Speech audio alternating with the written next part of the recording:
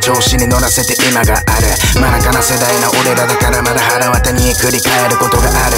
全然納得いけへんことばか言わしてる俺らも去る。これほどまで心底舐められてるマスクありがとうマジ助かる。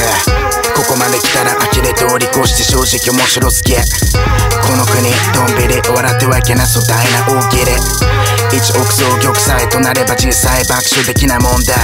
いつもは上から目線で偉そう助けて坂上先輩。好きな店がなくなりそう。イベントオーガナイザーが死にそう。ついでに会社も倒産しそう。融資でよけりゃ相談に乗る。いつも払ってる税金はどこへ特別会計国民が割れ予算委員会で逃げ切る流れオリンピックばか一回黙れ。空からの力もしかしたらこの島国彼らが欲しかったなら都市からの力都市から田舎日本人中より欲しがる刀。なぜかいつも瀬戸利剣誰がやっても椅子取りゲームいつも同じと当たり線。次は何かたたた危険悪夢の民主と政権しか言わへんやつ大体選挙に行かへん。議席のバランスって知ってる。主権者の態度で民意は成り立つと隣近所ピンと缶のゴミと同じくらいの緊張感を持ち監視すればチンプ感のソリでも俺らの声聞く票をもとに学ばなから騙される繰り返し調子に乗らせて今がある真中な世代の俺らだからまだ腹渡に繰り返ることがある全然納得いけへんことばか言わしてる俺らも去る